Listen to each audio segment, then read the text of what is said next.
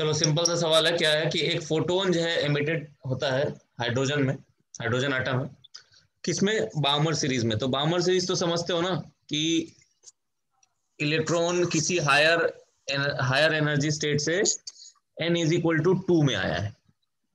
ठीक है? तो n is equal to two में आया है मतलब इलेक्ट्रॉन है n is equal to two में। मतलब किसी भी हायर स्टेट से आया है थ्री से आ सकता है फोर से आ सकता है।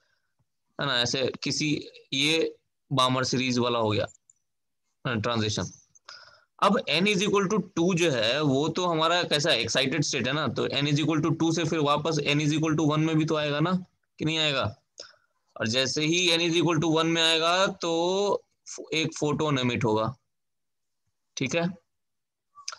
अब n is equal to one की एनर्जी कितनी है? Minus thirteen point six electron volt और n is equal to two की एनर्जी कितनी है? Minus three point four electron volt. तो एनर्जी डिफरेंस कितना हो गया? Ten point two electron volt.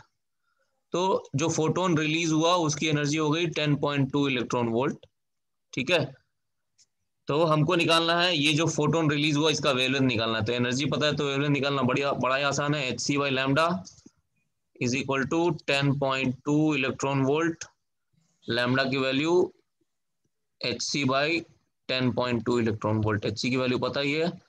One two four two electron volt nanometer by ten point two electron volt value डाल देना answer आ जाएगा। ठीक है? कितना आएगा बताओ? वन ट्वेंटी टू हाँ, जो भी है अप्रोक्सीमेटली इतना आएगा आंसर ठीक है? सिंपल समझ गया ना? इजी हाँ। था?